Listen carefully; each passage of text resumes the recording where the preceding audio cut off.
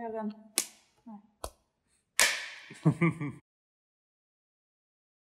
Um, du begynner å fortelle hvorfor vi sitter her? Ja, det kan vi gjøre. Eh, Jeg kan jo snakke for meg sjøl, fordi jeg sa jo eh, nei til mange av de TV-debattene og ting. Fordi jeg var litt redd for at det skulle bli blåst litt ut av proporsjoner hva begge av oss mener, egentlig. Og at jeg, jeg syns ofte at en får litt for, altfor kort tid på de debattene. Og at det vinkles veldig heftig mot hverandre. eh, Kanskje heftigere enn en egentlig gikk inn i utgangspunktet. At det kan virke enda mer polariserende. Så jeg spurte deg om vi skulle møtes og rett og slett bare drikke te og snakke om tekstene våre. I stedet for å krangle på TV. Jeg har faktisk tenkt på noe av det samme. Jeg følte ja, For det første kan jeg si at det å være på TV-debatt var ekstremt skummelt. Herregud. Jeg ble veldig stressa av det. Og vi fikk altfor dårlig tid, egentlig. Altså dårligere enn man egentlig får. og det, bare, det gikk bare kjempefort, så jeg vet ikke hvor mye, mye nyttig som kom ut av det. på en måte. Og så ble jeg veldig overrasket over hvor mye respons den fikk. Um, jeg hadde ikke forventet det, for jeg har skrevet andre ting også. Ja, teksten din, liksom. Ja, ja, ja. Ja. Om, liksom, om, om skolesystem og psykologistudiet og, og psykisk helse osv. som ikke har fått på, i nærheten av noe lignende. da. Og så plutselig traff det en eller annen nerve. For det var mange som syntes det var kjempebra, og, og, og flere som kom med kritikk. Jeg, jeg har fått så mye av det personlig, eh, men det kan vi kanskje snakke om litt etterpå. Ja, det er jo en av grunnene til at jeg ikke vil på TV akkurat nå. Ja. For jeg lever jo nesten i vitnebeskyttelse. Jeg gjør jo ikke det, men satt på spissen. Eh, mye sinte meldinger i innboks fra Ok, men Kan vi ikke ta det med en gang? Ja, men nå begynte vi på det med en gang. jo, men si, hva, hva, hva slags meldinger har du fått? Eh, jeg får mye om at jeg er en arrogant, manipulerende drittkjerring som er bortskjemt og altfor ung til å mene noe her i verden. Uh, og så litt mer enda sånn usaklige trusler og sånn. Mm. Uh, men uh, jeg får jo også positive meldinger. Jeg får jo det. Ja, ja, ja, Altså- selvfølgelig. Fordi det var noe vi fant ut Ja. fordi vi snakket sammen i går. Og da fant vi ut at fordi jeg har ikke fått noen sånne meldinger. Ingen, kanskje én sånn litt sånn rar melding, men, men sånn, ikke noe sånn direkte liksom trusler eller liksom sånn veldig sånn hatytringer. Er nesten utelukkende. Jeg har fått veldig masse positive meldinger. Um, jeg vet ikke, sikkert sånn, sånn 60-70 folk som har liksom sendt meldinger hver sånn. Det var kjempebra. liksom sånn flere eldre menn og unge gutter som kjenner seg igjen i, og, og, og, og mødre, det. Det var en type, eller, eller eh, voksne med barn, guttebarn, som sier at de ser liksom det hos de små guttene sine. Da, og er liksom, Takk for at du satte ord på dette. Um, men ikke noe av det, da. Um, og jeg tenkte på det litt i dag, at, jeg, at det slår meg at det nesten er som et litt sånn naturlig eksperiment, på en måte. Ja. Fordi noen av de tingene jeg skriver om, jeg, jeg føler jo på en måte at dette litt eksemplifiserer nøyaktig noe av de tingene som var poenget mitt. da. Disse, at det er visse forskjellige egenskaper da, mellom, mellom menn og damer. At, at, menn, nei, at damer ikke sender hat til fremmede på internett på den måten. Og det tenker jeg skyldes en, en viss iboende forskjell. Jeg tenker ikke det har så mye med samfunnet å gjøre. ja, det er jo, jeg er jo enig i at det, det ligger et sinne der. Ja. Og så er vi kanskje litt uenige om hvor det sinnet kommer fra. Mm. Og det er jo a can of worms, på en måte, hvor de lærde strides og alt. Men vi kan jo begynne å dykke inn i tekstene. Vi skal ta for oss både min tekst og din tekst. Mm. Hvor vi rett og slett bare skal stille spørsmål til den andre med sånn Hva, hva mente du her? Mm. Og prøve å ha en eh, saklig samtale Mm. om emnet.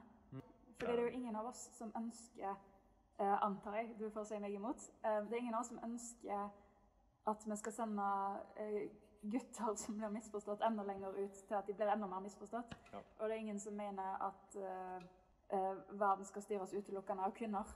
Nei. Så vi er et sted inne i midten her. Ja, det Begge tenker jeg. Mm. Så ja, eh, når en skriver leserinnlegg, så er det jo ofte sånn at en eh, skriver ting En har veldig lite spalteplass, en må gå veldig rett på sak. Eh, så nå skal jeg egentlig bare stille noen spørsmål til din tekst, og så kan vi diskutere de tingene. Mm. Vi kan jo allerede begynne med det, eh, den første setningen om at mykhet er blitt det nye idealet, og at mannen skal så langt det lar seg gjøre, sosialisere til å bli mer feminin og fredelig. Eh, hva legger du i ordet feminin? Mm, mer som Eller fremvise mer egenskaper som opptrer mer frekvent hos kvinner enn det gjør hos menn. Som hvilken type egenskaper? Mm, nei, å være mer fredelig, samarbeidsvillig og eh, internalisere altså psykologiske spenninger heller enn å handle de ut. Ha bedre impulskontroll, særlig også ved tidlig alder. Eh, følge regler mer og lignende. Ja. For meg høres det jo ut som dette her er ganske gode egenskaper å ha, da. Ja, jeg er helt enig. Um, Det er mer bare en observasjon om den historiske utviklingen vi har. da, Av at det er visse systematiske forskjeller i egenskaper mellom menn og damer. Og at gitt den eh, tidsepoken vi er i nå, så trenger vi ikke de egenskapene som opptrer mer typisk hos menn. Altså pga. at vi lever i et, et, et fredelig samfunn. Vi har en, industri, industriell produksjon og alt vi trenger. Vi trenger egentlig ikke det til noe lenger. Og da, og da må vi prøve å, å, kompensere for det på en eller annen måte. Da, og, Ja. og forsøke å sosialisere det bort så langt vi kan. Um, og det er det jeg legger i det. Så jeg legger ikke noe egentlig at det er noe bra, verken bra eller dårlig, men bare at jeg observerer at det er den samfunnsutviklingen vi har. Og sånn er det. Um, ja. Ja, jeg, jeg ser jo at det er sånn at vi har ikke like stor bruk for menn til å bære ting, liksom. Og ja, ja som du sier at det er industrialisert. Vi har ting som Vi har faktisk ting som fikser ting. Mm. Men en av de tingene som jeg tenker på, da, er at eh, det er mye snakk om mannen, som jeg kan oppfatte som litt generaliserende til tider i teksten her. At det er sånn, for jeg tenker jo at både menn og kvinner vi har jo maskuline og feminine egenskaper. Eh, ganske, alle har jo litt av alt. Og så har du, liksom, hvis du har det feminine her og det maskuline der, så vil jo de fleste være et sted her midt imellom. Hvor noen menn vil være her mot det feminine, noen kvinner vil være her. Noen menn vil være supermaskuline, liksom den klassiske ja. Um, og jeg um, tenker jo på det at det er sånn Det er jo ikke alle gutter det er snakk om. Det er jo, De fleste klarer seg vel ganske OK, og så har vi ei stor gruppe likevel som faller utenfor. Mm. En, en økende gruppe. En økende gruppe, ja. Og det er noe av det som er hovedpoenget mitt, at det er en, en, en trend da, som vi må forholde oss til, mm. og som jeg mener skyldes forskjeller på gruppenivå. Og ja, du har helt rett, det er generaliserende, fordi jeg snakker om en, en, en sjanger, som, Ja. heter, som er typen menn. Altså, og da gjør man en slutning av hva slags egenskaper som er mer typiske for denne gruppen versus en annen gruppe. Og, og man, kan, man kan jo kalle det hva man ville, på en måte, men det er mer bare for å tydeliggjøre at de egenskapene forekommer oftere hos menn. Langt oftere. Ja. Og, og da ser du på en måte, og hvis du har to normalfordelinger, da, så vil på en måte mennene være mer forskjøvet mot én ende. Da, og det gjør at de har langt flere på ekstreme egenskaper. Da. Så hvis du tar folk fra en gjennomsnittlig befolkning og ser på hvor liksom, si, aggressive de er, da, så, så mm, er det en, en liten sannsynlighet for at liksom at mannen vil være mer aggressiv enn en kvinne. Men, men det er ikke så betydelig, på en måte, fordi ja du har individuell alle menn er mer aggressive enn kvinner, liksom. Men hvis du ser på ekstremscorene av normalfordeling, så vil alle være menn. Ja. Um, fordi du har flyttet hele populasjonen litt til høyre. ja. Og det gjelder egentlig for alle disse egenskapene. Da. Vi snakker ikke om alle menn, men den gruppa av menn med de, som, som har mest av de veldig maskuline egenskapene. Men jeg tenker det, det har innvirkninger på, på lavere nivå. Da. Ja. Altså, det er jo på en måte systematiske ulikheter på populasjonsnivå um, som jeg tenker eh, at det er, et spektrum da, for, for de egenskapene. Som, som på, I ekstremnivå så er det de samme egenskapene som gjør at flere menn er kriminelle. Men på mer normalt nivå så er det de egenskapene som gjør at menn kanskje er mer selvhevdende og tar mer risikoer. Og samme grunn til at flere menn dør tidlig fordi de gjør idiotiske ting. Um, Så vi må redistribuere disse egenskapene som fører til disse tingene, i stedet for å slå ned på dem. jeg tenker at vi må finne et, et sunnere uttrykk for dem, Ja. da, istedenfor å prøve å undertrykke dem. Fordi de forsvinner ikke. Det, ja.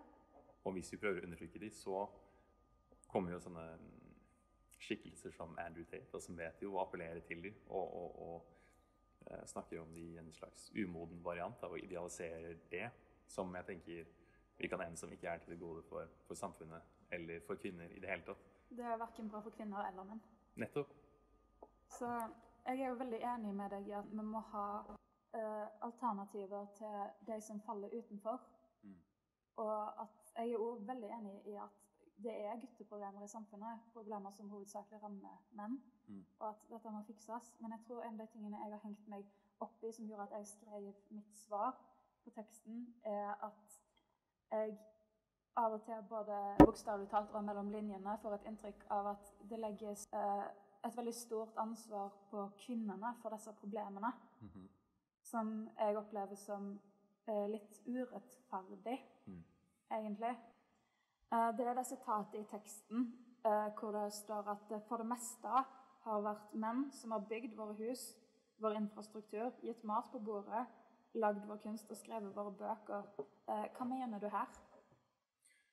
Um, eh, jeg mente um, som en slags overgang til den neste seksjonen, hvor jeg snakker om um, partnermarkedet, da, Uh, hvor det er um, funn uh, på datingforskning. Man ser at kvinner systematisk prioriterer menn med høyere status.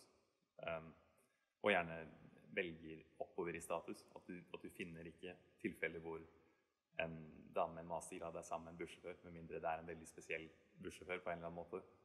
Ja, vi kommer jo til det i det neste segmentet i teksten. Men hvis vi kan bli bitte litt Ja, ja. her Men, men eh, tanken var som Ja. sådan at, at um, grunnen til noen av disse tingene er var for å påpeke at det er noe med maskuline egenskaper som nettopp får menn til å søke um, ting som gir status, da. Fordi det bidrar til å reprodusere. Og det ligger veldig dypt innkodet i vår revolusjonære arv. Og at det kanskje er en del av grunnen til at vi har den, noe av den historien vi har. Da. Jeg sier ikke at det kan forklare alt, men jeg sier at det kan være visse elementer av det. Eh, Og vi ser jo det også i dag, at folk, menn som er suksessfulle kunstnere og lignende, har, er mye mer attraktive enn andre. Eh, Så det, det er en litt sånn skjevhet der, da. Ja, um, det er sånn, jeg tror det var en setning som jeg og mange hang oss litt opp i, fordi uh, den historiske konteksten, som, eller den fortellingen som jeg abonnerer på, så er det jo ikke sånn at kvinner har hatt muligheten for egentlig ganske nylig til å bidra i den skapelsen av kulturarv. Ja, ja. Eh, Et veldig konkret eksempel er jo at det gikk ganske lang tid før kvinner fikk lov til å spille kvinner på scenen. Det var menn som spilte både kvinner og menn og alt. ja og, Kvinner har hatt veldig få muligheter til å kunne lage vår kunst og skrive våre bøker. Men nå når de får muligheten, så vil iallfall jeg tørre å påstå at det kommer veldig mye interessant fra alle kjønn, egentlig.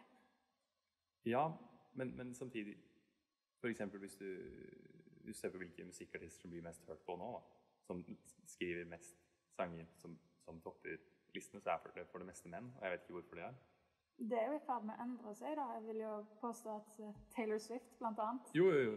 Eh, Selvfølgelig. Eh, liksom, hun ligger jo an til å ha den mest solgte turneen noensinne. Mm. Jeg tror jeg bare er uenig i den, egentlig. Ja. Og så har vi òg den med jeger- og sankesamfunnet, liksom, at de så sett har satt mat på bordet. Eh, jeg hadde et fag som heter sosialantropologi eh, 1001 eller 1000, SOSAN 1000, og der gikk jeg tilbake i en bok i dag og fant eh, side 135, så står det om jeger- og sankesamfunnet. Og der er det, det står at en lenger trodde at det er menn som satte maten på bordet, eh, og at en levde av jakt Mm. i den type samfunn. Men detaljerte undersøkelser av kosthold viste at det viktigste næringsgrunnlaget bestod av f.eks. røtter, bær, nøtter og planter, og at mennene sin jakt egentlig var en ganske usikker virksomhet som var veldig vanskelig å leve av. Mm. Sånn, jeg tror at det er mye av det arbeidet kvinner har gjort opp gjennom historien, som rett og slett har blitt usynlig. Fordi det ikke har blitt dokumentert, fordi kvinnen aldri har fått muligheten til å bli med på skrivingen av denne verdenshistorien. Og at det kan gi et kanskje skjevt bilde av hvor mye viktigere mannen har vært gjennom tidene. Jo da, selvfølgelig. Jeg, jeg tror mer Poenget jeg prøvde å få frem, var at det også kan være positive sider med maskulinitet, maskuline egenskaper. Ja, sånn statusjakt, at det kan føre til motivasjon til å gjøre ting, få ting gjort. Nettopp. Um, Jeg vet ikke, si f.eks. I, i det private næringsliv, da, på en måte. Eh, at det er mye snakk om at det er eh, flere menn i styrer på ja, aksjeselskaper osv. Men det skyldes jo til dels at det er langt flere menn som starter bedrifter og faktisk jobber i privat næringsliv. At det er mange flere damer som jobber i offentlig sektor og tar mindre risikoer på den måten. da. Og så ser du jo at, at den andre siden av den statistikken er hvor mange eh, menn er det som har prøvd å starte bedrifter og ikke fått det til, på en måte, og tapt masse. Um, det snakker man aldri om, men, men de er jo der, de òg. Ja, at det er den risikosøken. Ja. Villen, Villigheten til å ta den risikoen er større hos menn enn kvinner. Uten å si at den er fraværende hos kvinner, men at den generelt er større hos menn. Ja, Det kan jeg være enig i. Sånn, Jeg tenker at det er det samme som gjør at kanskje ja, sant, Vi sitter jo og ser av vinduet at det er jo en unge gutter som står og skater der, og det er flere gutter som havner i ulykker fordi man tar menn tar mer risikoer. Jeg tenker at Det kan jo ha en viss sammenheng med hva som kreves for å være en suksessfull mann. da, på en måte. Som, som i en grad kan være litt hardt da, for å ha suksess på partnermarkedet osv. Men det er mange som, som ikke blir valgt i det hele tatt. Jeg tror det kan føles litt vondt, da, og, og at mange menn føler at de faktisk må få til ting for å, for å, for å bli verdsatt. ja, for å få den statusen at ei kvinne vil velge dem. For så vidt. Ja.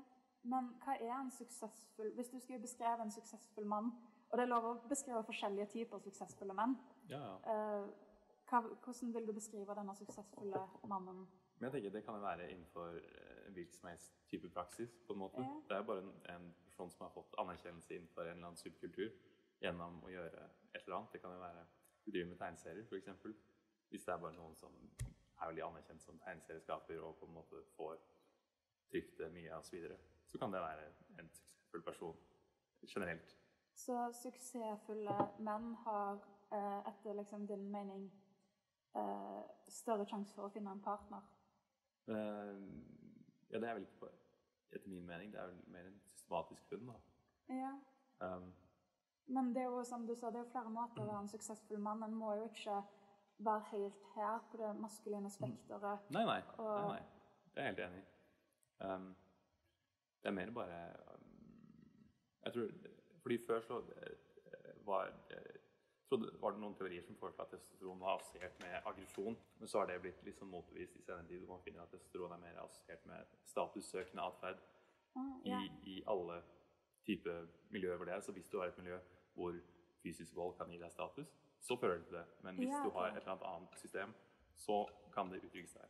Eh, og det er kanskje derfor du ser mange flere menn i finanssektoren, fordi penger har blitt et slags sånn statussymbol i vår tid. da. Men hvordan blir det da et uh, problem at i et type samfunn som setter veldig pris, eller mer pris enn før på feminine egenskaper, burde ikke det da virke som en motivasjon på mannen til å etterstrebe disse kvalitetene på samme måte som altså, det du sa, Hvis et samfunn eh, setter pris på fysisk vold, så er det det som skjer. Ja, altså det som gir, gir status, men, men så er det jo sånn at det gir jo ikke nødvendigvis mye status. Ja, det er, eller, man, Ja, det er her vi kommer inn på det med Altså, bare ja. gutter som er veldig myke og snille, altså, det blir ikke nødvendigvis valgt. Ja, du skriver jo her at uh, menn uten status som syter og gråter, blir ikke valgt. Så vi gråter ikke, vi holder det inna, ofrer liv og helse, og vi arbeider. Noen klarer presset, andre gjør ikke. Her tenkte jeg litt på det med sånn Det er jo forskjell på å være sutrete og uttrykke følelser. Det er jo sånn, Verken en mann eller en kvinne, de fleste iallfall, vil jo være med en partner som du må trøste 24 timer i døgnet. Eh, Men å uttrykke følelser i den grad at du klarer å vise at du er glad i ungene dine, og klarer å synes at kattunger er søte og le av en humorfilm, Ja, ja. er jo uttrykking av følelser. Jeg tror det er mer der jeg kommer fra. Jo da, men det, det, er, det er jo noe litt annet. Men det er mer, mer kanskje å vise eh, at man trenger hjelp på en eller annen måte. Ja, eller en slags sårbarhet Ja, som, som jeg tror er noe mange sier, men som egentlig ikke menes helt. da. Eller det, det, det, det handles ikke ut i, i praksis. da. Jeg kom på noe um, Jeg hørte en sånn foredrag av en, en, en fyr som heter Richard Reeves, som skrev en bok om dette, hvor han sa noe sånn at de hadde gjort noen sånn analyser av sånn selvmordsbrev som menn la igjen dobbelt så mange menn som tar selvmord nesten. Uh, hvor noe av de, de mest frekvente ordene de brukte, var ord som ubrukelig osv. Som jeg tenker kanskje sier noe, da, men det er vanskelig å si nøyaktig hva. Ja. Um, fordi altså, de mennene som prøver å starte en bedrift da, og ikke klarer det, og, og, på en måte ender opp helt på bunnen av samfunnet, eller hva det skulle være, da, som tar risikoer som ikke lønner seg, og havner i fengsel f.eks., eller lignende, det er en slags nedside av det. Da, på en måte. Og du ser jo generelt på fordelinger at menn har mer ekstreme egenskaper. da.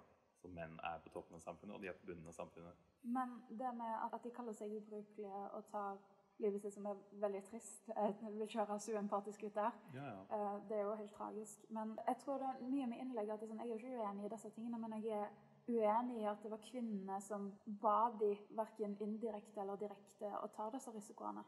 For så vidt. Men det er jo litt det som er poenget mitt òg, at det er jo på en måte i stor grad skyldes ulike egenskaper. da.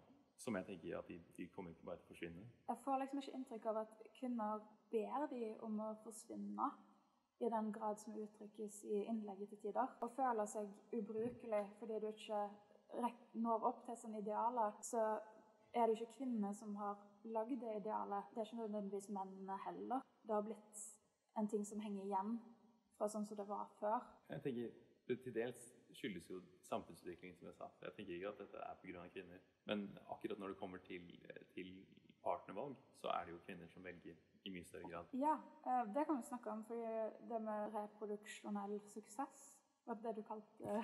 Reproduktiv suksess. reproduktiv suksess. Eh, Og det med at kvinner velger oppover i status. Kan du snakke litt om hva du tenker rundt det? Det, det, det er bare et, et funn da, om at du ser at generelt da, hva som fremmer attraktivitet. At du har en intraseksuell konkurranse blant menn om hvem som har mest mulig status. Og at det er den faktoren som har mest prediktiv for å reprodusere, da, eller å finne en partner. Mens for kvinner så er det alder. Generelt. Yngre kvinner er mer attraktive. Menn syns at yngre kvinner er mer attraktive. Ja. Og ok, så du mener altså at eh, kvinner velger oppover i status? Ja. Og Og at- menn ser ut til å velge nedover i alder hvis man har fritt valg. Ja. Så menn ser ut til å velge nedover, men eh, hvis, hvis kvinner ikke vil velge nedover i status, hvorfor, eh, liksom, hvorfor, hvorfor må ei kvinne velge nedover i status? Nei, jeg sier ikke at man må det. Jeg, jeg bare tenker at jeg bare, eller jeg bare observerer at um, gitt den um, sosiale og økonomiske utviklingen vi har hatt, og med den, den likestillingskampen vi har hatt, som er bra, så bare sier jeg at en bivirkning av det er at da dukker det opp en stor, stadig økende underklasse av menn som ikke blir valgt. Og jeg bare tenker meg at de blir frustrerte. Og jeg syns ikke det er rart hvis de trekker mot den høyre side da. Jeg fikk, litt inntrykk, liksom, jeg fikk litt inntrykk da jeg leste den teksten, at det nesten virker som at kvinner skylder disse barnløse mennene barn, og at kvinnene skylder de som blir inceller, en partner. Det syns jeg ikke. Nei, ikke jeg heller. Mm, altså, mye av teksten min altså, jeg, jeg prøver ikke å si noe dette er positivt eller dette er negativt. Jeg bare påpeker dette er en trend, og jeg tenker det skyldes mannlige egenskaper, som er det mer ofte hos menn, eh, og at det er et problem vi må forholde oss til. Og jeg tenker at hvis vi ikke forholder oss til det, så er det på en måte litt sånn Andrew Tate en naturlig effekt av det. Og jeg tenker at det er ekstremt usunt, eller, Ja. eller litt sånn lignende radikalisering. Men det er jo sånn mye av dette i teksten handler jo om at liksom, de føler seg overflødige i samfunnet fordi det ikke lenger er bruk for dem. Og jeg stemmer den tolkningen min. Jeg tenker at de er overflødige i samfunnet fordi det ikke er bruk for dem. Um, Ja. Og at vi må finne en bruk for de, de egenskapene. Ja, finne en, en slags måte å integrere det i samfunnet da, istedenfor å, i for å eh, omtale det som, som noe ensidig negativt. Da. Men Ja. prøve å finne positive uttrykk for det. Da. Men jeg tenker jo, jeg har fortsatt på dette med eh, reproduktiv suksess, og det med at menn leter etter en partner og ikke blir valgt. Og at mange eh, Jeg har sett på sånn 4chan og Reddit blant annet, at det har kommet disse kallenavnene som Chad og Stacey, og at en eh, eh, Stacey vil bare ha en Chad, og en uh, Chad er liksom en sånn der en maskulin mann helt her borte som eh, eh, styrer på og får alle damene. Imens de mennene som skriver da, om denne chaden, plasserer seg så, sånn at de, de gjør narr av det mannlige idealet, samtidig som de gjør narr for at kvinner de, de ser for seg at kvinner vil ha dette mannlige idealet, og så skylder de på kvinnene for at de ikke får en partner, samtidig som det ligger et, eh, noe kvinnefiendtlig der. Jeg skjønner jo frustrasjonen av å ikke finne seg en partner. Det er jo mange som kan kjenne på uh, den frustrasjonen, men jeg tror jo at det er en myte at, sånn, at alle kvinner vil ha en type mann, fordi alle menn vil jo ikke ha en type kvinner. Det vil jo være en forskjell der. For uh, Hvis en skal gå f.eks. til litteratur, film og musikk lagd av kvinner, så handler jo mye om romantikk. Og der sier jo veldig mange kvinner hva de vil ha, egentlig. Og det fins jo selvsagt Fifty Shades of Grey finnes. Og det er folk som uh, abonnerer på den type mannemann som faktisk er veldig toxic. Og det finnes uh, ting som uh, abonnerer på en mannemann som ikke er toxic, men samtidig er veldig typisk maskulin. Men det finnes òg veldig mange ting imellom her. Det syns jeg er veldig interessant. Da, at, det, liksom, at det kom til myten om at kvinner vil ha en, en skikkelig mann i den tradisjonelle forstand. Det trenger jo ikke nødvendigvis være, um, men, men det, det var jo bare at det er vel presumptivt noen egenskaper som går igjen, som er mer attraktive enn andre. Men er disse nødvendigvis maskuline, altså typiske maskuline egenskaper? For hvis en ser eh, sånn husmorsromaner eh, på kiosken, liksom, eller eh, young adult romansebøker for kvinner, så er det sånn Det jeg har lest til nå i mitt liv, har iallfall vært sånn der du ser for deg en mann som tar hånda di og spør om det går bra. Liksom at Det er nesten det folk vil ha. Uten at det betyr at de ikke skal få lov til å plukke ned den høyeste tingen fra høyeste hylla, liksom. Jo da, men, men ja, du nevnte jo sist gang sånn, sånn dette med at damer skriver på Tinder Tinder som mm. de ikke vil date menn under 1,80. Noen damer skriver på Tinder at de ikke vil date menn under 1,80.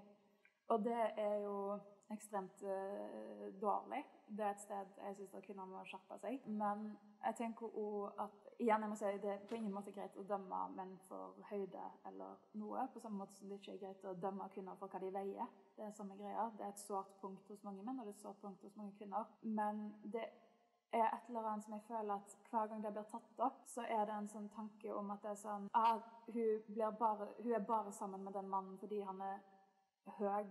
Hun er bare sammen med den mannen fordi han har en god jobb.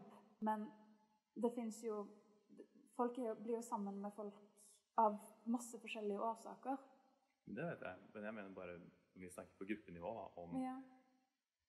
preferanser. Altså hvis du, hvis du, viser folk si Hvis du tar liksom 100 folk, da, bare viser de bilder av helt vanlige personer og bare spør hvem og ber dem rangere dem som er mest attraktive, så, så får man jo til det. Ja, men altså, hvis du viser bilder, så vil jo folk bare se på bildene. Men det betyr ikke nødvendigvis at de ville eh, Hvis de hadde møtt denne personen tre ganger, så er det ikke sikkert at de ville møtt i den fjerde.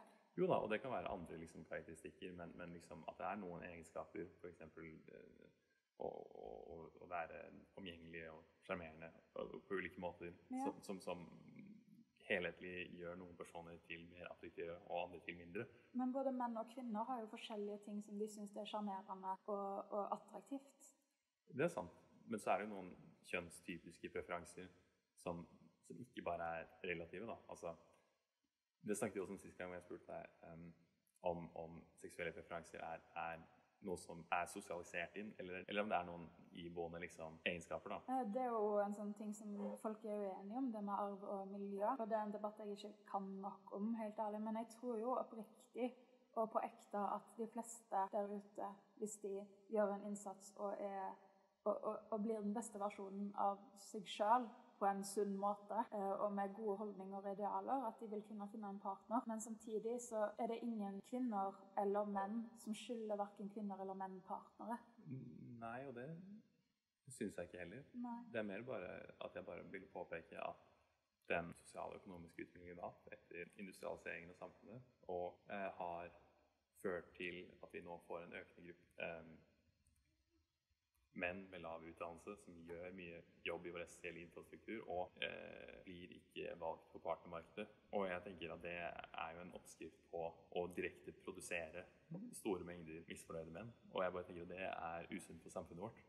Ja. Um, det er en bekymringsverdig trend, rett og slett. Og jeg er redd for hvilke effekter det kan ha over lengre tid. Men der er med tilbake på at jeg er enig i at det kan bli et problem. Men jeg er uenig i at det ansvaret skal legges på kvinner. Men det gjør jeg ikke heller. Det er mer bare at det er noe, den samfunnsutviklingen vi har, vi må forholde oss til det som et fellesskap. Og hvis vi ikke finner en måte å inngå noen pragmatiske kompromisser, så kommer ikke venstresiden til å ha oppslutning fra disse mennene, og da mister vi gradvis det. Ja, vi mister en stor gruppe med mennesker. Og velgere, da. Ja. Så da får man ikke gjennomført den politikken man eventuelt vil, da. Og det vil ikke gagne noen. Nei. Men det kan jeg se. Og det er sånn, men hva kan en da gjøre for å løse dette problemet? Det er jo det store spørsmålet som er nesten umulig å finne svar på. Iallfall på en fredagskveld med to studenter. Nei, det, det er mye det at det er sånn eh, Det er en omstilling nå som er veldig vanskelig å forholde seg til, både for menn og kvinner. Punkter definitivt så har menn eh, problem. F.eks.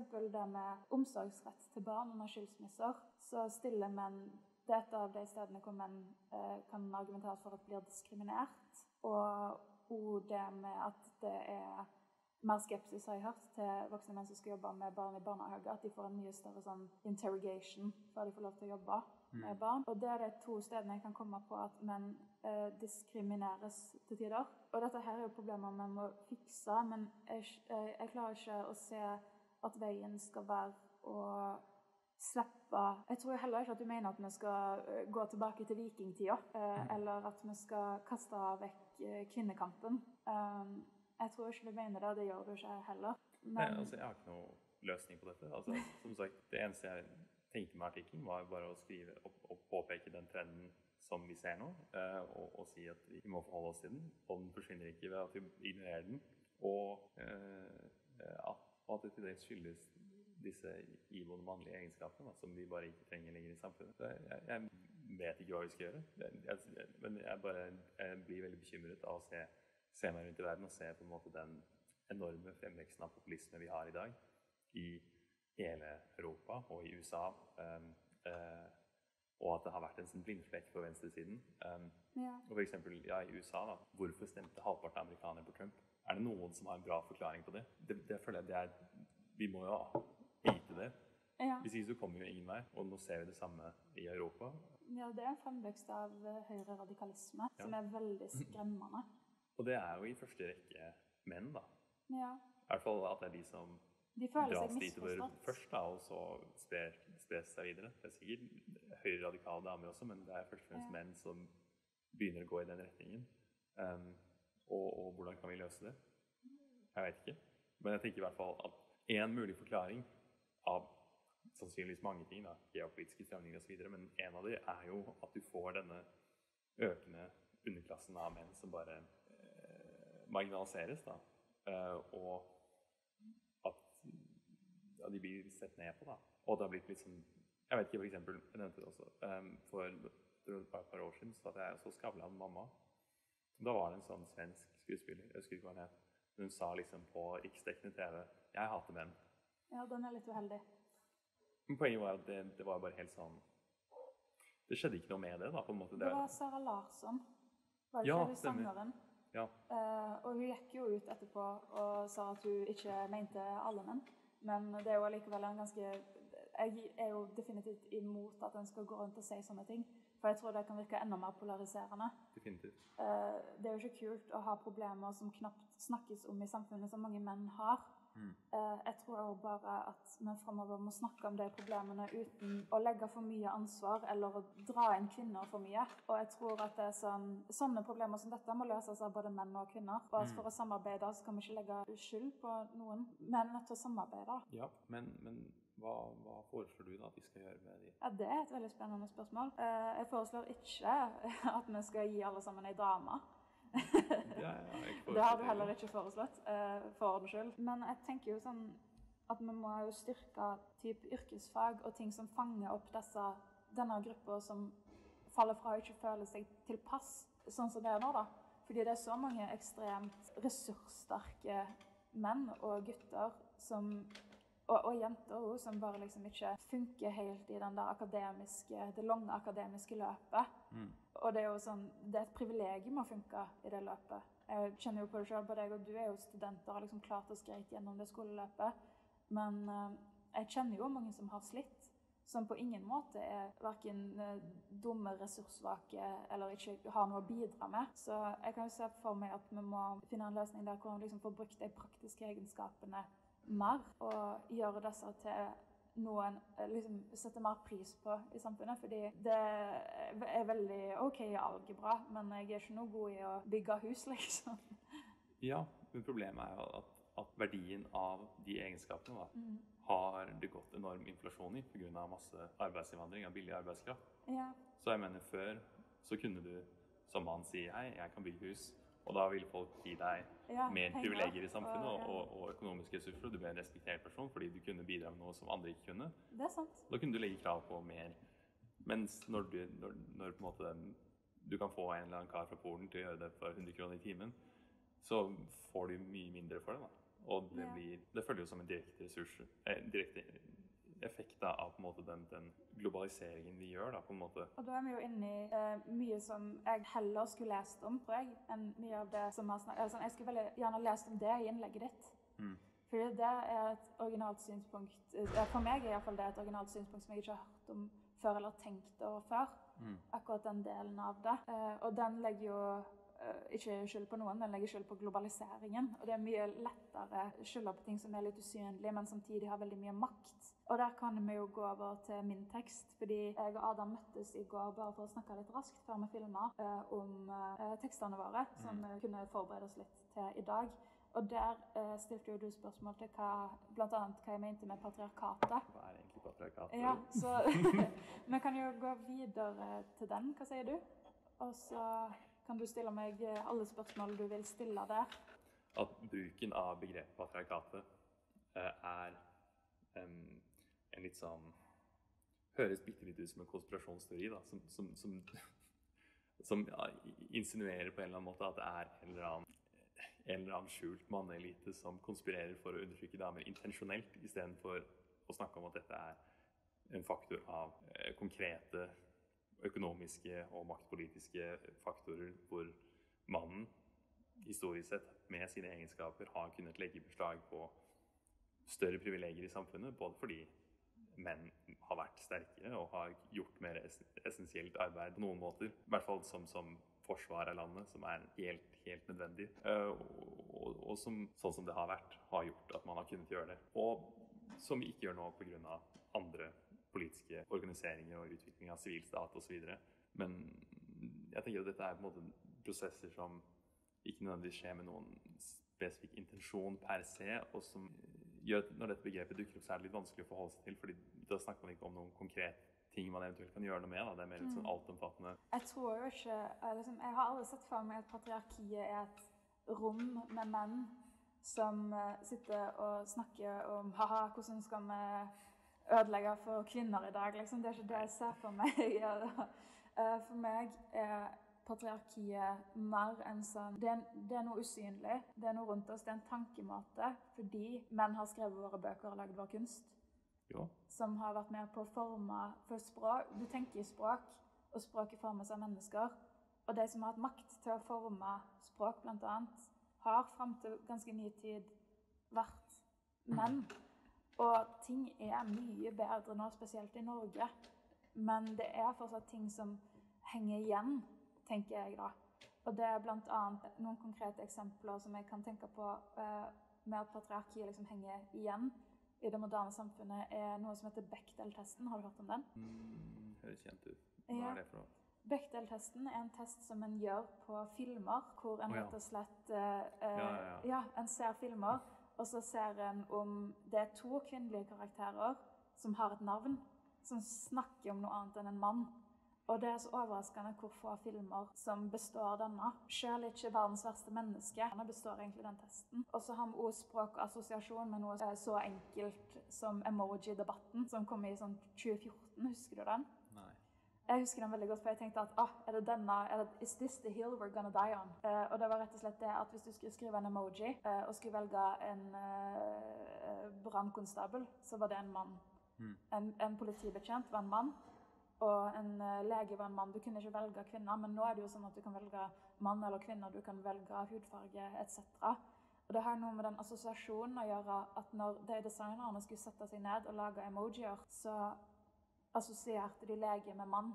Ja, ja. Og det er noe som jeg anser som henger igjen fra en måte å tenke på. Og den siste tingen eh, jeg tenker på med at eh, patriarkatet henger igjen eh, i måten vi tenker å se verden på, er at kvinner til tider forventes å imitere typiske maskuline egenskaper, eller å faktisk inneha de, eh, for å få innpass i type lederyrker eller akademia. Mm. Og der er jo eh, Et eksempel er jo idealet om å være rasjonell rasjonell -hmm. og objektiv. Og ikke la deg eh, lede av følelser. Eh, noe som feministisk forskning, f.eks. Alison Jagger, Al Jagger, eh, skriver jo mye om det at nøytralitet egentlig er en myte. Fordi for å gjøre deg opp en mening om noe, så må du ha en interesse av noe. Og allerede der er du påvirka av hva som interesserer deg. Ja, ja, men jeg er helt enig i alt dette. Eh, og, og, ehm, og jeg tenker det er, det er en nyttig analyse. Man, man bruker det også i, i f.eks. analyse av, av, av psykiske lidelser osv. Med, med Foucault, med liksom galskapens historie og, og, og, eller lignende. Derrida har også skrevet mye veldig fornuftig i forhold til relasjon til dyr osv. Om at man er liksom implisitt i sitt, sitt verdenssyn um, osv. Uh, og, og jeg syns det er veldig nyttig med å, å, å dekonstruere de strukturene, og de er der selvfølgelig. Men jeg tenker en slik analyse må også kunne beholde seg innenfor visse grenser. Da. Du kan snakke om en slags uh, symbolsk logikk og inn, en, viss grad innenfor liksom, fortolkning osv. Men noen aspekter av språket mm, syns jeg det blir urimelig å, å trekke til um, en strukturalistisk analyse. F.eks. sånne ting som at 1 pluss 1 er fortsatt lik 2 uansett om du er mann eller dame. på en måte. Og det er noe, og vi kan snakke om at det er en, en stol er en stol, på en måte. Og vi, og vi kan konstruere et slags virkelighetssyn basert på språklige objekter som ikke er utelukkende ladet med patriarkalske maktstrukturer. slik at vi, vi kan nærme oss noe som kan beskrives som objektivt. da. I hvert fall innenfor visse diskurser. da. Og så er det selvfølgelig disse implisitte aspektene, men allikevel så, det, så kan det ikke bli så dominerende. da. Det var den første tingen jeg ville si. Og så tenkte jeg, eh, og som sagt også enig i alt dette med sosiale rolleformer osv. osv. Men jeg tenker alt kan ikke være en sosial konstruksjon. Det er jo hele den der sånn arv- og miljødebatten, og den er ekstremt ideologisk ladd på begge punkter. ikke sant? definitivt. Og jeg tenker jo pragmatisk at det er et eller annet sted i midten. Um, altså at det er en kombinasjon av disse tingene, og det er ikke helt åpenbart hva som er arv og hva som er miljø, men at det er jo åpenbart noe av det som er der, da, på en måte.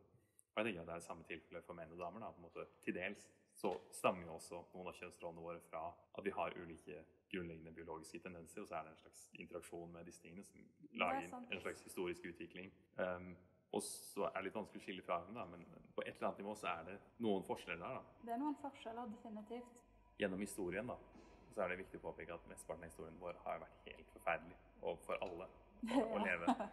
Men at de som har hatt litt makt, hva nå det skulle bestå i, har brukt den til å legge krav på så mye ressurser som de har kunnet, på en måte. Og så har vi fått gradvis eh, utvikling av en sivilstat som har hjulpet oss i å danne samarbeidsorganer og, og liksom lover og regler og politistyrker osv. for å, å dempe disse aspektene i oss. Da. Men det er derfor vi fortsatt trenger lover og regler, fordi mennesker har en tendens til å prøve å sikre seg selv da, hvis, hvis man ikke blir regulert. Ja, veldig hops av deg å si. Til en viss grad. Naturtilstand, liksom. Mm, Ja, ikke nødvendigvis Ja. helt, men det er jo en slags naturkulturdiskurs her som underligger. Eh, og det tenker jeg er høyst reell, fordi hvis, vi ikke, hvis det ikke hadde vært tilfellet, så hadde man jo ikke handlet mot en sosial kontrakt i det hele tatt. Så vi trenger jo det. Men ehm, og i den grad, da, gitt at livet var såpass usikkert før, så var i hvert fall en del trygghet betinget i forsvar da, og krigføring, som var det menn gjorde. Og det var en essensiell samfunnsfunksjon da, som de da brukte til å legge krav på mer makt i samfunnet. Og også i den situasjonen, da, kvinners avhengighet til menn pga. livets iboende usikkerhet. Ja, og nå Um, har vi ikke den usikkerheten lenger. Nei. Og det tenker jeg er bra, Ja, vel å merke. det- og det er bra. så Sånn, vi er enige om at det er bra at ingen kvinner trenger en partner. Ja, ja. eh, Men at de gjerne kan ha en partner hvis de vil ha en. Ja. Og omvendt. Ja, ja. Det tror jeg har vært En av de kritikkene jeg har fått mest på min tech, er at jeg sier at vi ikke trenger menn. Og det er jo sånn, Jeg mener jo ikke at uh, ah, hvis vi hadde wipa ut alle menn i morgen, kill all menn, så hadde verden gått superfint. Eh, Jeg tenker jo på ingen måte det. Jeg tenker, vi har- jo bruk for hverandre. Hadde kanskje vært litt mer fredelig, da. Ja, men eh, Det er jo et poeng som du har i at det er mange yrker som hovedsakelig er tatt av menn, som er veldig viktige for at verden går rundt. Og det samme gjelder kvinner, at vi trenger hverandre der. Eh, det jeg mente med at eh, vi trenger ikke menn, men vi vil ha dem, var jo mer på et individ-partnernivå. Ja, ja. Så ja, eh, bare fortsett med spørsmål. Ja, for det var også en ting jeg tenkte på at, at du sier det, men så er det jo liksom Hvis du ser på liksom statistikken for utviklingen av ufrivillig barnløse, så var det liksom fra 70-tallet til nå, da, så har det vært en enorm økning i menn som er ufrivillig barnløse. ja. Så faktum er at det er en stor andel menn som kvinner faktisk ikke vil ha. Og jeg, min påstand var bare at det henger sammen med at vi som samfunn, ikke bare kvinner, men vi som samfunn trenger det ikke lenger. Og da er de på en måte litt uønsket. Da. Jeg skylder ikke egentlig på noen, det er mer bare å observere at det skjer. ja. Og jeg vet ikke hva jeg skal gjøre. Nei, det Jeg tenker jo liksom Det første må jo være å jeg, jeg, jo, jeg mener jo heller ikke at jeg har noen svar, men jeg tenker jo at det er sånn Den incel-bevegelsen er jo ekstremt skummel. Mm. Fordi det ligger en sånn der eh, Et grunnlag der som virker som at eh, ikke alle, men de mest ekstreme føler at de har rett på ei kvinne. De har rett på en partner, de har rett på sex fordi de fins. Ja, det er jo urimelig. De Ja. har rett på noen andre. Ingen har rett på noen andre, men alle har jo eh, rett på respekt. Og respekt for yrket sitt, og respekt for jobben de gjør, og de gode egenskapene de har. Og der kan jeg være med på at de typiske, veldig eh, praktiske yrkene har fått en lavere status i det moderne samfunnet. Og det er jo ikke noe jeg syns er bra. Jeg setter veldig pris på at, eh, en, at vi har en vaktmester på bygget. Eh, Vi har to mannlige vaktmestere, Ja. og at de kan fikse det. Og jeg hadde også satt like mye pris på en kvinnelig vaktmester, men det er jo sånn at det er flere mannlige. Ja, ja. Eh, og så er det sånn Det burde ha en mye høyere status å ha disse yrkene, Mm. som også ville gitt mer økonomisk og sosial og kulturell kompensasjon for arbeidet som gjøres. Så det er jo en ting vi, jeg tror vi er enige i. Men jeg tror ikke det tingene, jeg tror ikke det er mulig å bare øke det kunstig. Nei, det Altså jeg tenker Grunnen til at det hadde mer status før, var fordi det var mer nødvendig. Mens nå har vi mer industrialiserte virkemidler. Ja, men vi har fortsatt bruk for Ja, men det er jo det du snakker om med globaliseringen. Det, det, er liksom, det er den faktoren som gjør det så vanskelig. Fordi det, vi kan jo ikke stoppe innvandring eller eh, noe, for det ville jo vært veldig feil. Ja, ja, ja. ja. Så vi har liksom kjørt oss litt fast der, kanskje. Og der er det jo kanskje politikerne som må finne ut noe. ja. Jeg vet ikke, jeg føler på en måte at jeg har sagt mye av det jeg ville si. I hvert fall i mitt, mitt opprinnelige innlegg. Og bare um, Og jeg, jeg forstår liksom mye av den kritikken du kommer med når du forklarer liksom at, at du ikke vil uh, at, at, at det skal legges skyld på kvinner, og det gjør jeg ikke heller. Uh, det er mer bare det er en generelt vanskelig situasjon Ja, det er det. som jeg ikke liksom ser ser helt hvordan vi kommer ut av. Og liksom sånn du sier, liksom systemet har laget dem igjen. Jeg er helt enig. Det er selvfølgelig Ja, det var det. Sånn har det vært. Eh, men Det har kanskje vært en bra samfunnsendring som ikke eh, som, har eh, Det har nok vært en brå samfunnsendring som har hatt veldig fokus på kvinners velvære. Og ikke tatt hensyn til endringene som skjer for menn. jeg tenker det også har vært intensjoner om å ta hensyn til menns velvære. Det er mer bare um, Jeg vet ikke, nå blir jeg kanskje veldig hobbesiansk her, med liksom utvikling av den sosiale kontrakten osv., men det er jo noe i det. Ja. At på et eller annet nivå er- handler jo liksom sivilstaten og liksom fredsbygging osv. på en eller annen måte om å håndtere mannlig aggresjon. De, ja, det er sant. De egenskapene som i, i, utgangspunktet gjorde det nødvendig, er De er der jo fortsatt, da, selv, selv om Men de har jo ikke et sunt utløp. Nei, funksjonen av de er, er vekk, på en måte. Ja, men det, vi har jo, vi har jo sport og paintball, holdt jeg på å si. Jo, sånn jo, veldig, jo. veldig, veldig overfladisk sagt. Jo. Men finnes det nok arenaer hvor Noen ønsker, ønsker jo mer action enn andre Ja. her i livet. Og kanskje det er, det er nok flere menn og en del kvinner som faller på det spekteret, som ønsker en litt mer actionfylt hverdag for å føle at livet gir mening. Ja. Mens folk som meg, f.eks., uh, gjerne tar en rolig kveld med en kopp te, og helst ikke ønsker å uh, verken slå eller løpe fra noen eller noe. Ja, ja. At det er forskjell der. Ja, ja, Men at det er en sånn der, en, sånn der, en, en slags uro som må settes et sted, men å gjøre det på en sunn måte, sånn at vi liksom samtidig kan beholde kvinners trygghet i samfunnet, og, og menns trygghet for de som ikke ønsker å delta i det. ja. Jeg tenker Et bra punkt der er å snakke om skolesystemet. Ja, skolesystemet. Fordi det er jo veldig kvinnedominert da, eh, av, av Det er flere kvinnelige Lærere. lærere enn mannlige lærere, ja.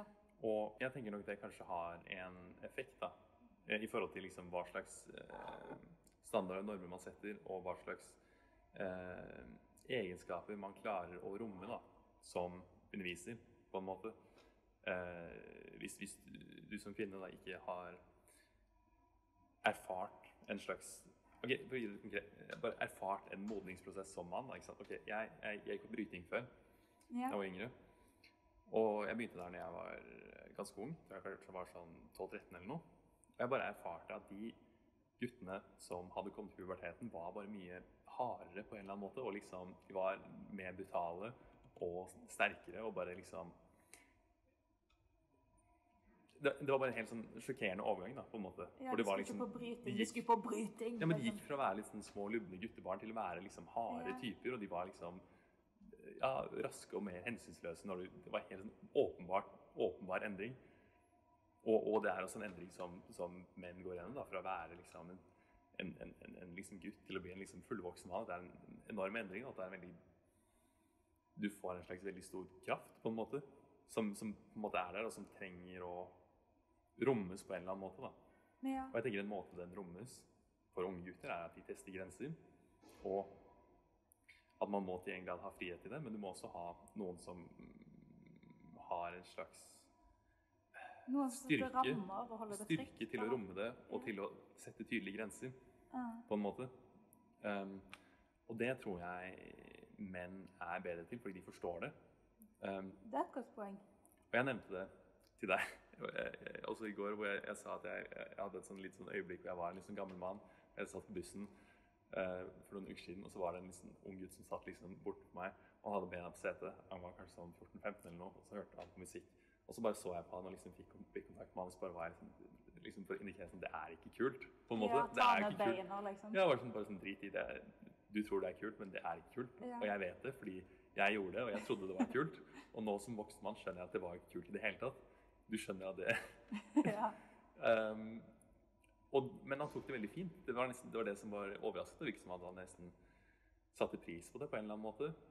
Og det syns jeg var litt interessant. At det var sånn, Ja. nesten som en litt sånn faderlig omsorg, da, på en måte. Um, som jeg tenker Som jeg tenker mann trenger. ja, men det er jo helt Um. fair å trenge både kvinnelige og mannlige forbilder. Mm. Og kanskje spesielt av det samme uh, kjønn som en identifiserer seg med. Det gir jo fullstendig mening. Mm. Og det er jo liksom viktig å ha både mannlige og kvinnelige lærere, omsorgspersoner. Nei, jeg synes det, og jeg skjønner veldig godt hva du mener med at det er sånn Eksempel han fyren på T-banen ville kanskje tatt det litt annerledes hvis det var jeg som gjorde det. Ja, nettopp. Uh, og det hadde jo gitt mening. Ja, ja. Han hadde tatt ned beina uansett, men han hadde kanskje ikke satt, satt eh, like stor pris på det. Ja, ja. Jeg må spørre deg om du er enig i det, at det fins forskjellige Det, det fins de mennene som får den voldsomheten, og som trenger å uttrykke den. Og jeg er enig i at det må være greit så lenge det skjer på måter som ikke går ut over noen som Ja. ikke vil være med på det. Ja, ja. Eh, og så fins det jo Det fins veldig mange forskjellige måter å bli en voksen mann på. Ja, ja. Og at det, være, det, det skal være plass til alle måtene. Ja, ja. Selvfølgelig. Så vi er jo egentlig enige om ganske mye. Ja, ja. Men det er mer at jeg tenker at normen da, i Ja. utdanningssystemet har blitt mye mer lagt opp nærmere egenskaper unge kvinner har. Og så skal også liksom, Hvis man er uenig, så må du snakke om følelser og liksom den type ting. Og det er litt sånn Ja, men noen ganger har man lyst til å bryte litt òg. Og det Ja. kan være sunt, på en måte. Jeg vil bare spørre deg, eller klarifisere at du, ikke, du er ikke for at folk skal stå og eh, slå på hverandre for å slå på hverandre, liksom? Nei, nei. Eller i full slagsmål med blod og tårer? Nei, nei. Men at det er en mer sånn der litt vennska, eh, vennskapelig og gjensidig knuffing? Ja, ja. Og det er det jo også i guttegjenger mye mer. Ja. Altså, jeg mener, jeg har venninner som jeg, jeg studerer psykologi, og jeg syns det er kjempefint. Og da sitter vi nå ofte treffes og så drikker vi litt vin, og så kan vi snakke om liksom, relasjoner og liksom videre. Og, og de er mye flinkere enn meg, mange av de, selv om de ikke studerer psykologi. Og jeg merker at mange, det er bare en observasjon jeg har gjort, at mange damer har det bare som en slags naturlig evne. At de er Så, så selv om jeg har liksom holdt med dette masse og så er, de bare De bare tar det da, på en måte på en liksom intuitiv plan. Men så syns jeg det er veldig koselig å ha en liksom en guttestemning. Det er en liksom røff stemning. og vi kan drive og erte hverandre og bryte litt og liksom ha en litt sånn Og det er gøy, da, men det er en mye mer røff stemning. Um, fordi vi vet at vi tåler det, da, på en måte. Ja. Um, Hvis en virkelig vil lese innleggene våre i verste mening, så kan en lese ditt som at det er sånn La menn alltid stå og bryte. Ikke tving de til å snakke om følelser. De, vi, vi vil slåss, liksom. Vi vil bare slåss i fred. Hold, hold kjeft, liksom.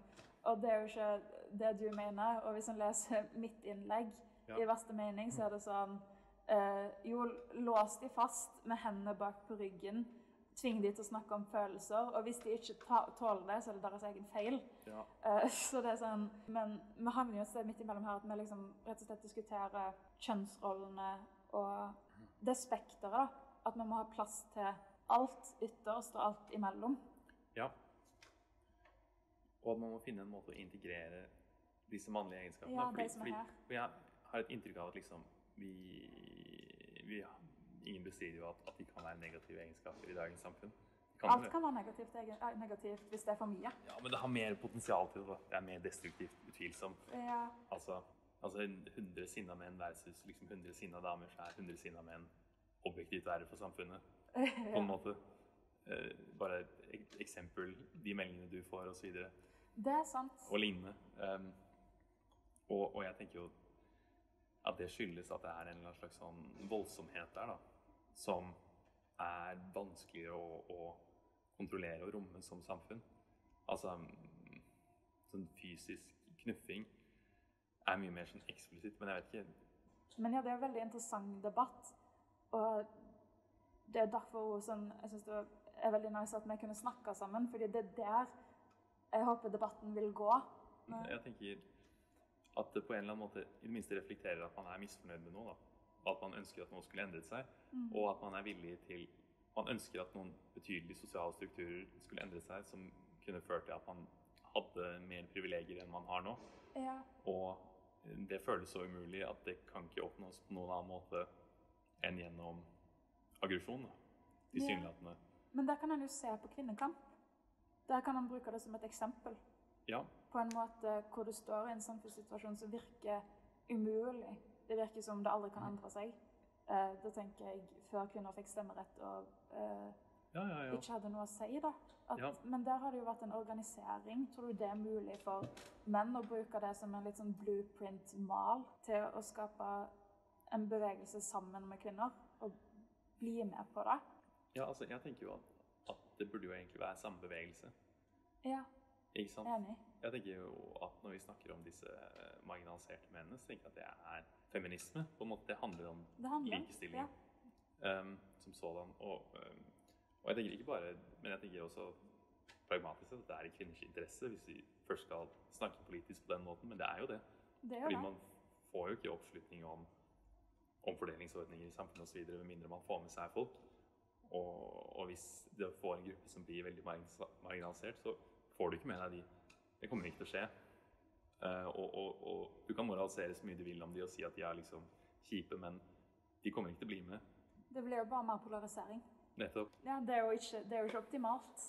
Nei. Og det er, litt, det er jo en av grunnene til at vi møttes her. Mm. Fordi vi vil ikke bidra til det. Ja. Mm. Men oppfordre til sånne samtaler som dette. For jeg var jo provosert da jeg leste innlegget ditt først. Eh, og du har sikkert vært litt provosert av mitt innlegg. Det var forventet. det var forventa, jeg. Og begge har fått reaksjoner. Men det er jo veldig interessant å se at det er sånn Hvis vi hadde møtt opp på debatter og hatt to minutter Ja. til å fremme vårt synspunkt hver, Ja. så ville vi jo aldri liksom kommet til Jeg ville aldri kommet til den forståelsen jeg har av hva du mener, og hvem du er som person. Mm. Uh, og kanskje ikke omvendt. Ikke omvendt heller. Så skal vi være litt ballsy og be debatter om å vare lenger og oppfordre til mer samtale. Ja, og kanskje mer fokus på samarbeid. da. Jeg mener, vi sitter jo faktisk i samme båt. Ja, Bokstavelig talt. bokstavelig talt. Skal vi avslutte der? Ja, vi kan avslutte det. Det var veldig veldig hyggelig å møte deg og faktisk snakke med deg. Mm -hmm. uh, og det blir spennende å se om folk gidder å se denne filmen vi har lagd.